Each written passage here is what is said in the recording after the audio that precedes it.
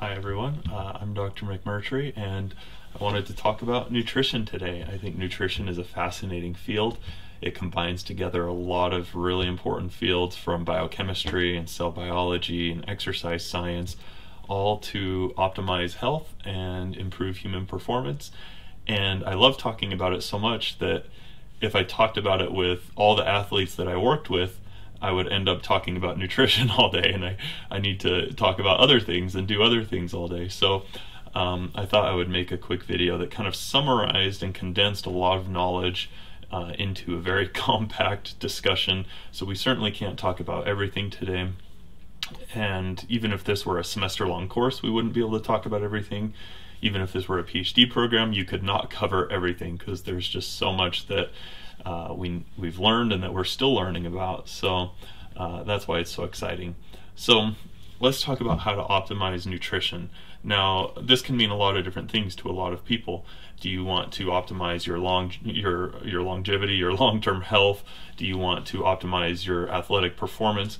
Uh, these are sort of you know overlapping but different things, and so in general, nutrition should be tailored to you to your tastes and also to what your specific athletic performance is, uh, whether it's anaerobic, whether it's more aerobic, and things like that. So, this is just going to be a general overview, but feel free to um, ask questions and comment and write about things that you think are helpful for you and uh, and uh, things that we don't cover. Uh, there's there's a lot more, so feel free to leave that in the comments below. All right. Now, a lot of athletes are really concerned about muscle nutrition, and that's okay. Muscles do a lot of the movement and activity that we do in athletics, but it's also important to be aware of nutrition for other parts of the body, especially tendons and ligaments. So, I'll talk a lot about that today. Uh, tendons and ligaments uh, do a surprising amount of functions in athletics. Not only do they absorb impacts like hits in rugby and football, but we also uh, like even in sports like climbing and running these are very tendon specific sports where a lot of the rebound from running is uh, through tendons and bones and stiffness actually can be a great benefit to some degree uh, the biomechanics are really interesting there same thing with tendons. A lot of times in climbing, we're hanging off small holds uh, with tendons and ligaments just as much as muscle. And so, um, and, and a lot of the injuries that I see are tendon and ligament injuries. They're not muscle injuries. I mean, you can get muscle tears and those kind of injuries, and we can diagnose all of that under ultrasound with really high resolution imaging and really pin down where the injuries are. But the vast majority of the time, these are tendinous uh, or ligamentous injuries. So that's why I want to focus on that today. So, with that said, let's talk about diet in general, uh, just really quickly. Now, again, everyone's going to have an opinion on this, and and and so your opinion may be different than mine, and your taste may be different than mine, and that's totally fine. It turns out that all these sort of diet fads and the specificity of what they're what they're um, you know selling or or promoting. Um, yeah, for some people they may work and, and be beneficial, but in general, just eating a healthy diet will get you most of the vitamins and nutrition you need. There's actually very few vitamins that you need to absolutely take every single day uh, if you're eating a healthy diet. It's more for the high metabolic demand athletes who are pushing the limits and, and trying to maximize recovery that you have to start worrying about some of these micronutrients and things. Um, but in general, you can get most of what you need just from uh, a healthy diet, primarily uh, vegetarian, because of all the flavonoids and micronutrients, uh, vitamins and minerals that are in plants. And uh, of course, we worry about B12, and so totally fine. Have meat once in a while. Uh, that'll get you the B12 you need in general. But as we age, B12 levels tend to decline. And so I want to talk about some of these biohacks um, uh, for your own benefit. Hopefully, it'll help you. So, the interesting thing about a plant based diet, which I've done for many years now, and which I think is extraordinarily helpful and beneficial for athletes, is that plants naturally have a lot of antioxidants, anti inflammatories, and um, what we would call senolytics, a lot of chemicals that we didn't really understand until the last five or ten years and and we're really discovering some of the mechanisms of how they work.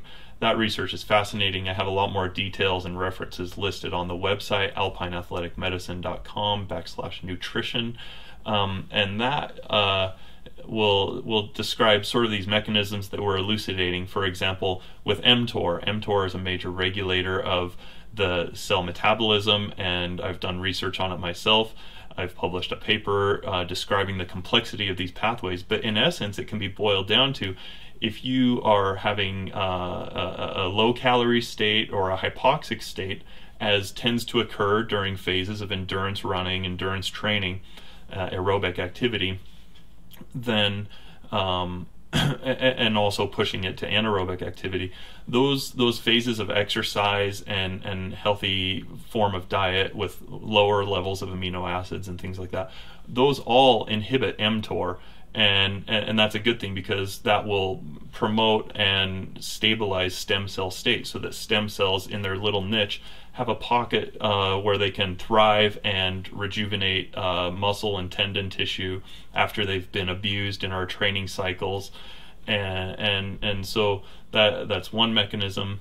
Another mechanism is the telomerase activity. Again, both mTOR and telomerase were Nobel Prize winning discoveries just in the last decade, um, or at least the Nobel Prizes were awarded in, in the last decade. And uh, telomerase being one of those first discovered in the ancient bristlecone pines. So people have tried to figure out what foods or what you know activities can we do that sort of activate telomerase and extend our DNA and, and help our cells have more of a lifespan, more replication cycles. And again, it turns out that all these uh, flavonoids, flavonols, and antioxidants that are in our leafy greens, um, blueberries with anthocyanin, quercetin in grapes and in leafy green vegetables. Uh, these are sort of very, very potent and beneficial uh, molecules that exist naturally and, and can help our bodies thrive. So I've listed a lot of those on the website. You can check them out there. Everything from resveratrol, luteolin, quercetin, anthocyanins, um, so much more. So uh, so in general, I'm just going to group them into our natural, uh, natural sourced leafy green vegetable uh, berry type molecules. Okay, let's move on to the next topic, uh, omega-3 fatty acids. So these, uh, I used to neglect them, but now I'm a, a big proponent of them. I think that uh, they help not only cell repair. Now, remember when we do our training cycles, cell membranes break down. We have to restore those cell membranes. Also, we don't want solid fats in general, so anything that's solid at room temperature tends to be worse for our cardiovascular system. Um, so, omega 3s are an extremely healthy form of protecting our cardiovascular system and also just for cell recovery. So EPA turns out to be probably one of the best omega-3s. DHA is more important in our youth and and for neurodevelopment and things like that early on. But as we age, um, EPA probably is a better, at least some evidence some evidence suggests that EPA is better cardiovascular protectant. But regardless, as long as you're just getting some source of omega-3 fatty acids in your diet, that's the most important thing. Now, let's move on to sort of this tendon strengthening, uh, tendon repair um, nutrition. So we have to understand the mechanisms of how cartilage and uh, collagen are made. So, so cartilage in, in, our joints wears down over time. It's called our osteoarthritis, and uh, that's a type 2 collagen. And then also in our bones, they get thinner over time. Bones are primarily type 1 collagen with calcium and phosphate. And then we also have our tendons, which is most important for sort of athletic activities. And that also is primarily type 1 collagen with a lot of other um, sort of basement membrane glycosaminoglycans and things like that mixed in to help strengthen and and and there's a lot of enzymatic work that sort of binds together these collagen fibrils. So when we look at the detailed mechanisms of how all this works, you can actually elucidate a lot of the nutrition that's necessary in order to stimulate this and it turns out that a lot of this has been validated and again on the on the references on my website those will discuss in detail where these studies came from. So let's talk about glycine. Glycine is one of the simplest amino acids and it's one of the main uh, components of collagen. So collagen is this sort of triple helix string of amino acids and every third amino acid is glycine And so if you don't have enough glycine, it's very difficult to make collagen and, and same with the amino acid proline. But it turns out that studies have shown that by taking a glycine supplement, it actually stimulates more collagen production. So uh, this is uh, extremely helpful. Now, there's a lot of components to collagen uh, in addition. Collagen has to be strengthened, it has to be laid down in um, sort of efficient patterns in order for covalent binding to occur between the collagen fibrils that ultimately assemble into a big collagen fiber. So, um, glycine is certainly one of the fundamental components. It's a third of the mass of uh, collagen, and and, and so um, it, it's useful to know that by eating more glycine, um, we can actually stimulate collagen production. Now, uh, there's a lot of post processing that occurs um, with hydroxylation of proline and lysine, especially, that enables that covalent binding between the fibrils of collagen. It turns out that um, enzymatic process requires copper, which normally we get in, in, a healthy diet, especially if we're eating lots of vegetables. But uh, some people I found are taking high levels of zinc supplement, and zinc can essentially um, bind up uh, enzymes that are involved in the transport process in our gut, and uh, it can uh, inhibit the absorption of copper. So it, it is important to understand that if you're taking a zinc supplement, which is fine, zinc has a lot of benefits for cell replication and cell repair, uh, as well as antioxidant activities, but um, it should be in minimal amounts uh, certainly less than 50 milligrams a day. I recommend about 25 milligrams a day. And if you're doing that, also take at least 2 milligrams of copper every day. But like I said, in general, you can get a lot of that from plants without a supplement. But just something to think about there. Another way to get a lot of glycine in your diet is simply to take collagen supplements as a whole. And collagen um, it's going to have all the amino acids in collagen, obviously, proline and glycine especially. And again, studies have shown that by taking collagen supplementation, we actually increase the synthesis of collagen from the fibroblasts in our bodies. And, and so there's a lot of benefit, again, to taking collagen. You can actually do this in a variety of ways. My favorite is bone broth because it has a ton of nutrients and electrolytes and collagen um, from a pretty natural source. But uh, you can also do it just as jello or gelatin. Um, it's another way. Now, along with this, another vitamin that's essential for collagen synthesis is vitamin C. You probably already know that uh, you know sailors who didn't take uh, citrus fruits and vitamin C on their trips would suffer from scurvy and they could actually die from it. It turns out vitamin C is essential to the hydroxylation process of proline and lysine in the cell. And so without that hydroxylation process, collagen cannot be covalently linked together. So um, so that's why vitamin C is essential. Now, you don't need huge levels of it. In fact, at, at very high levels, vitamin C actually becomes a pro-oxidant rather than an antioxidant. Um, and there's some cases where that may be beneficial. For example, there's a new study that just came out this year talking about how um, magnesium helps transport of oxidative vitamin C into cancer cells. And so that's pretty interesting, especially for solid tumor cells like breast cancer and colon cancer. It, it may turn out that it's uh, at least you know an adjuvant therapy um, it, could be beneficial for these sorts of cancer. Just using vitamin C and and magnesium. I'll have to uh, put up a link to that study. But in essence, to summarize, um, glycine, collagen, vitamin C, copper, and and one other one I haven't talked about yet, vitamin D. Turns out vitamin D has also been shown to accelerate the synthesis of collagen from fibroblasts and tenocytes. So tenocytes are the cells in the tendon. Um, so so all those vitamins together uh, help um, with tendon repair. Uh, it, another thing that helps is growth hormone. So growth hormone, we naturally release it typically in a spike at night when we go to sleep and that's one of the few things that actually stimulates receptors on fibroblasts and tenocytes to lay down more collagen and and and so if we can maximize a normal physiologic uh, level and response uh, of growth hormone then that also can best help the repair of tendons and ligaments. And one of the best ways to do that naturally is to take the glycine supplement at night before you go to bed. So, you know, about a gram, one to five grams of glycine at night. Uh, glycine is actually a neurotransmitter as well, and it's involved in the release of that growth hormone through the hypothalamic pituitary axis. So, um, so that's one way. And the other thing you can do to stimulate and augment that is to take melatonin. Studies have shown the minimal effective dose is 5 milligrams at night, and then you can go higher if you'd like. 10 milligrams is typically great for me. So uh, that's yet another way to stimulate the, the tendon repair process and collagen synthesis. So now what happens when tendon repair goes wrong?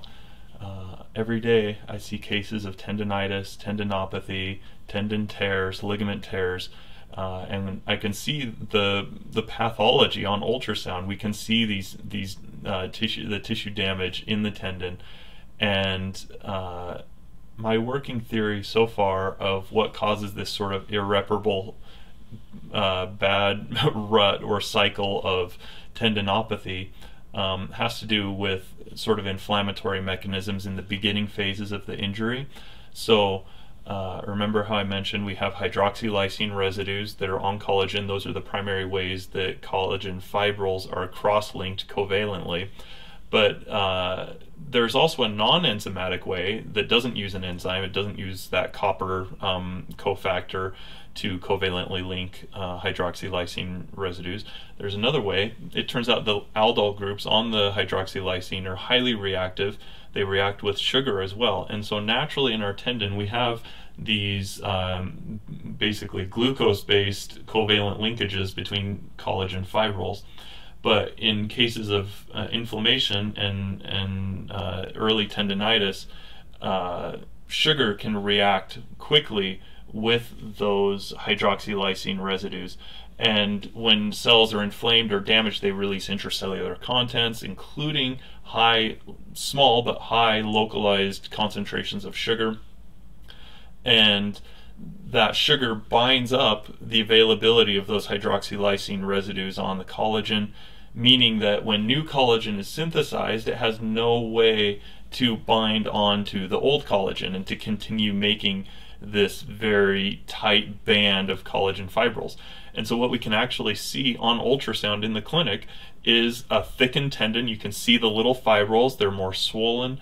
Um, and uh, sometimes we'll see intrasubstance tears where the vessel that runs through the tendon basically is trying to feed uh, these these tendon uh, fibrils, the, the collagen fibrils, but they're not able to grab onto each other and tighten and and mature into these very strong covalent linkages between fibrils. And so I've spent the last couple of years researching the best mechanisms and the best therapies for resolving these tendinopathies. And I think I've hit on some really fascinating things. I'll talk about it more in another video.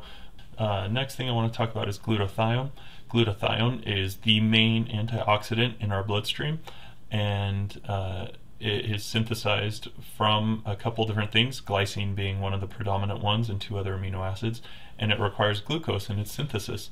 And so for most people it may not be an issue, but for athletes who under who are under extreme uh, aerobic uh, oxidative stress for long periods of time in their training, uh, they tend to deplete glutathione and glutathione cannot be absorbed orally. It's uh, digested apart into, into its components before it even crosses into the bloodstream. But we can actually give it as an injection into the bloodstream and uh, restore those levels either before a race or as, as a potent antioxidant um, or after a race for recovery. So, along with that, uh, B12 is also a vitamin that generally we get sufficient of in, in most um, meat based diets. Uh, even small amounts of meat can typically get us the B12 we need in our youth. But as we age, our ability to absorb B12 and our ability uh, to keep B12 in our system declines. That's been shown in several studies. And uh, it's actually been suggested that B12 is one of the uh, causes of sarcopenia, which is age related muscle wasting. So, Um, so again, for athletes, and in order to maintain B12 levels, um, we can do injections and, and ensure that B12 levels are adequate. B12 is one of those things that would be very hard to overdose on, um, so it's better to make sure it's topped off. It has a lot of other benefits as well. Uh, along with the water soluble vitamins, uh, water soluble B vitamins, uh, we have B6. B6 is one that you don't want to take in excess. It can cause neuropathies and, and other toxicities, but uh, but it's still essential. Um, and and along with that, folate. So these three, folate, B6, and B12, they act sort of as methyl donors, which is essential for both um, epigenetic uh, landscapes of, of how genes are turned on and off, and also for DNA replication, which is essential when you're training, your cells have to replicate and, and, and restore themselves, either stem cells differentiating into things like muscle cells or muscle cells themselves dividing and, and creating uh, new muscle components to restore damage that was done. So all of these things are essential. If you lack one of them, it can affect all the others. Uh, in fact, typically you want to make sure your B12 levels are high before you take a folate supplement because it can actually have a sort of counterproductive uh, effect there.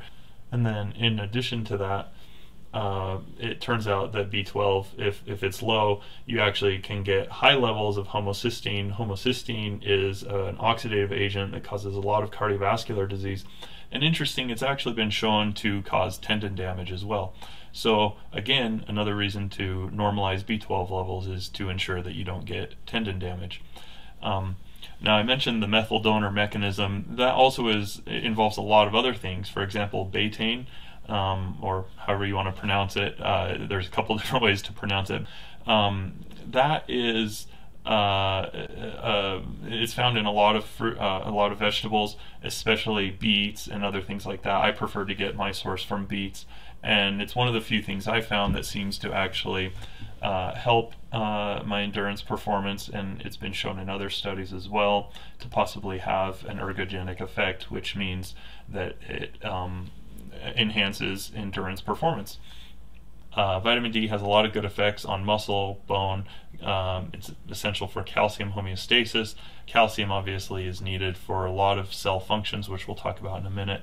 But uh, for those who are concerned about osteopenia as they age, uh, most evidence suggests that the simplest and, and easiest way of preventing and, and ensuring good bone health is just to take vitamin D, like a thousand international units per day uh, along with natural sources of calcium, so milk and cheese. Um, you can take calcium supplements. There, there's a couple issues we can get into with that, but um, but in general, not nothing wrong with it. Um, and, uh, and and then along with that, a collagen supplement because remember, collagen is one of the main proteins in bone. And then in addition, just weight bearing exercises uh, and physical activity. So uh, there are obviously medical therapies and other and other therapies that can be done to augment uh, bone density, but that's the simplest explanation for now. As far as calcium goes, calcium is essential in numerous cell signaling pathways in almost every type of cell, especially in muscle cells where it's released from the sarcoplasmic reticulum, where it's stored and then initiates that binding pathway between actin and myosin. Um, and uh, in most cases, we get enough in our diet, especially if we're eating calcium rich foods. And in some cases, supplementation may be necessary. There's some small evidence, at least in vitro, that high calcium levels, though, actually decrease collagen synthesis from fibroblasts. And so I typically recommend just sticking with natural sources of calcium. But uh, it's always worth testing for just to make sure that athletes are not depleting it along with calcium and an associated and yet sort of antagonistic in some mechanisms uh, element is uh, magnesium. So magnesium uh, can actually activate vitamin D and absorption of calcium and things like that. And it's actually essential also for replenishment of potassium, which is also often depleted in endurance athletes. And, and so this is another one that I highly recommend testing for and supplementing with even because magnesium is also an antioxidant, has a lot of good effects. And so, if there's any suspicion at all that you might be low on magnesium, um, it's worth taking a supplement. But again, if you're eating lots of healthy uh, vegetable based, uh, vegetable focused diet, then uh, you should have enough magnesium. Same thing with manganese, which again is essential in uh, collagen synthesis. I might have not talked about that in detail, but um, it can certainly help with collagen synthesis. But it's also toxic in high amounts, so it's not something you typically want to supplement with, especially if you're eating a healthy diet.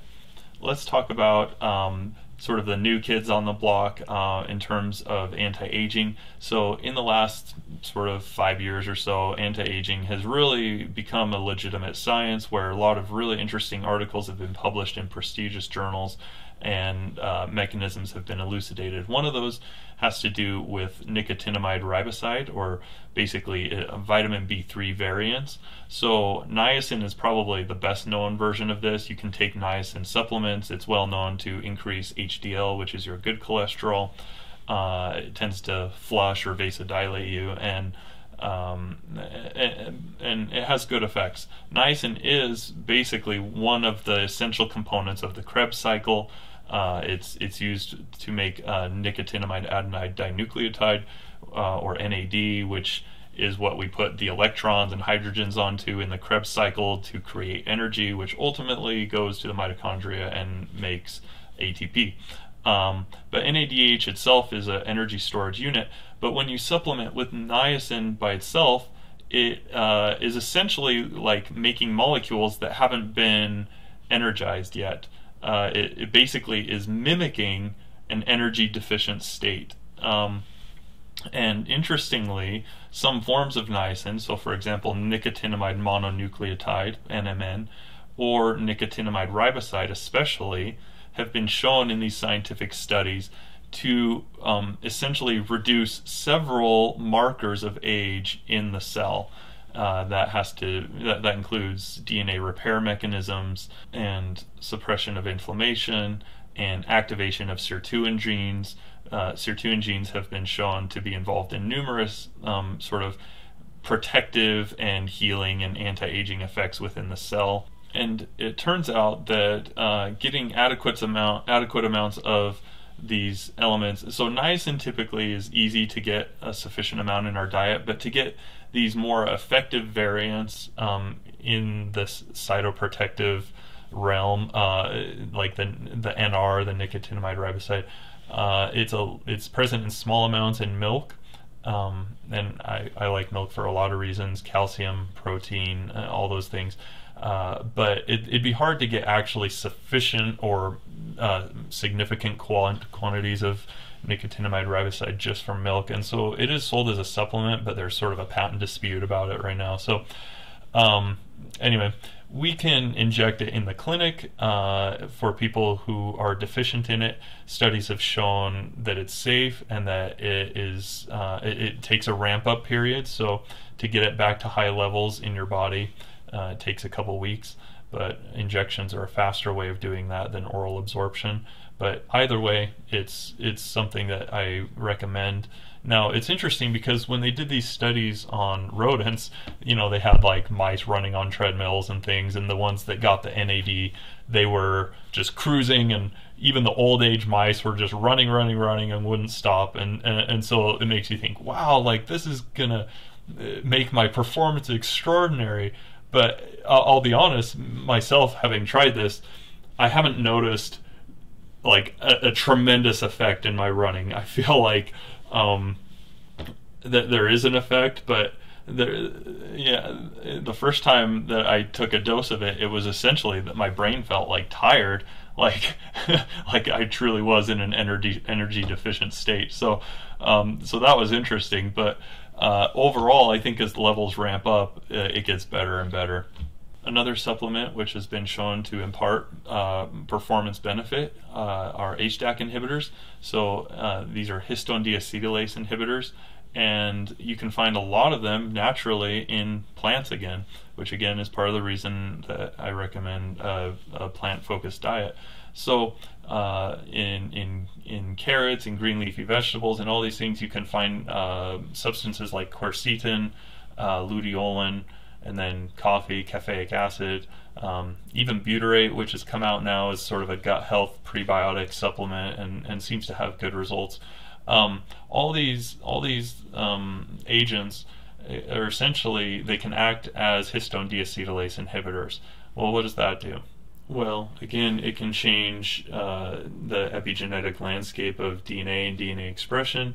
It has shown anti inflammatory effects, and there have even been studies, at least in animals, showing that it has an endurance benefit, and that even in rodents, it, it, it significantly increased their hanging endurance, their hanging power, um, things like that. I guess they were putting little rodents on hanging bar on pull-up bars. Uh, it does seem like these actually impart some sort of performance benefit, and so again, useful to have a plant-focused diet. Uh, another uh, aspect I'd like to talk about is potassium. So um, a lot of people think electrolytes are, are you know they've kind of washed out. They're not th- that important, and I think a lot of that came from sort of the uh, heavy promotion of things like Gatorade and stuff, and and ultimately people realized these don't really prevent cramping. I'm not really sure what benefit they're giving me. They just have a lot of sugar, and, and those are all appropriate concerns. But uh, having worked myself in critical care for many years, I've realized that electrolytes are an essential part of of uh, proper physiology, and especially for athletes and performance. And it's surprising how quickly um, electrolytes can get out of balance in certain cases. So, for the most part, our kidneys do an extraordinary job of balancing acid and base and balancing uh, sodium and potassium and chloride and bicarb and all these different things in our blood. Um, but uh, for athletes in particular, uh, these things can get out of whack under uh, sort of you know duress and extraordinary circumstances, um, extraordinary performance such as long distance events or high altitude events, and so uh, part of what I do is uh, altitude med- high altitude medicine and wilderness medicine, and also just for people who run marathons and ultra marathons, making sure that these electrolytes uh, stay within normal levels. Now it's interesting. You'd think, oh, they just all get depleted, but that's not the case. If you study marathon runners at the end of a race, you'll find that almost as many of them have a high potassium at the end of the race as have a low potassium. And part of that has to do with the fact that they're dehydrated, so the volume is contracted, and also their muscles have been uh, you know contracting over and over again for all this time. And every time you do that you release a little bit of potassium from inside the cell. So there, there's a lot of really interesting overlapping complex mechanisms that regulate our electrolytes. But potassium is one of those important ones that can actually get depleted. And so you'll see a lot of um, ultra marathoners actually do take potassium supplements and when potassium is depleted, it tends to be associated with a metabolic alkalosis uh, for a couple different me- mechanistic reasons. And then, um, uh, so when you're sort of restoring or rehydrating or recovering after this sort of event, it's important to understand how these electrolytes uh, alter and change. It's not just the concentrations, it's also the amounts, um, which can be um, directly associated or inversely associated. And so uh, maybe someday I'll make a video on all of that. But in essence, um, potassium is just another important uh, atom to think about. All right, going back to uh, fatty acids and the omega 3s that we talked about, uh, some associated supplements here uh, that seem to be useful in athletes. One of them is alpha GPC or alpha glycerol phosphorylcholine. This is a precursor for a lot of things. And, and similarly, there's another one, so CDP choline. These can provide um, precursors for glutathione production and cell membrane repair. And they uh, alpha GPC has actually shown some endurance performance benefit in athletes. Uh, there's a study on that that's linked on the website. It also showed increased isometric strength, increased release of your natural growth hormone, and, and other benefits. Part of the mechanism here is probably uh, its conversion to phosphatidylcholine, which is the precursor for uh, all the cell membrane lipids uh, that are used to rebuild and, and regenerate cells. And then for those who are interested, there are a variety of uh, nutritional approaches to neuropathies. Some people have neuropathic injuries, um, and taking things, uh, you know, making sure you're getting the right phospholipids, cholesterol, lecithin, all these sort of myelinating compounds in your diet is important. So I, I have a, a topic discussed on the website about that. And, and then a few other things, for example, uh, for osteoarthritis, there's a lot of questions about chondroitin sulfate and glucosamine and MSM. I do discuss those on the website as well because I think it's relevant not just for osteoarthritis but also for preventing osteoarthritis um, and uh, also for tendon repair. There's some evidence that MSM may be beneficial in, in tendon repair as well. So uh, I discussed that, but the evidence, you know, is not is not great. Uh, but like I said, there's a lot of other uh, therapeutic avenues that we can take. So there's also a paragraph on the website that discusses natural anti-inflammatories.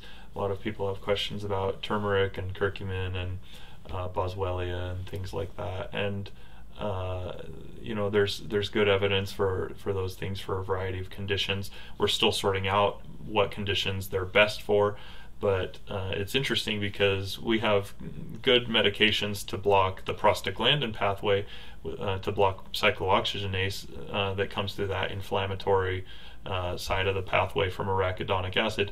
But these natural substances seem much better at inhibiting the other side of the pathway, which is the leukotrienes that form from arachidonic acid and and, uh, and lipoxygenase enzyme inhibitors. So those may be effective for certain conditions. We're still not 100% sure what conditions, but I think uh, there's there's a variety of inflammatory pathways that can be activated even apart from those ones and and and so we don't always know exactly what these inflammatory pathways are they they intersect with a lot of immune pathways and other signaling pathways and and so um, it's interesting to try to target uh, exactly what sort of these injury mechanisms and pain mechanisms are. Okay so uh, I hope that was informative. I know it's not comprehensive and uh, I know it's not going to cure everything. That's why we have a billion other therapies to provide but that gets uh, the most informative part of the discussion out of the way for most athletes. So um, hopefully this is helpful to whatever particular endeavor you're pursuing. And uh, if you have other questions or you want more information, please ask. The obligatory disclaimer, of course, is that this is not comprehensive and it may not apply to your particular circumstance and it should be um, assessed by a knowledgeable person who's aware of your entire health history, yada yada. And again, if you want more information or more references, uh, it's all listed on our website, and we hope to keep adding information there because this is a continually evolving field and uh, obviously will always be relevant to athletes. So uh, uh, hopefully you can experiment with some of these things, tell me what works, what doesn't work, and, and uh, ask if there's anything else you're interested in talking about. We can certainly uh, discuss additional nutritional supplements. Anyway, I hope that helps and is interesting. Thank you. Talk to you later.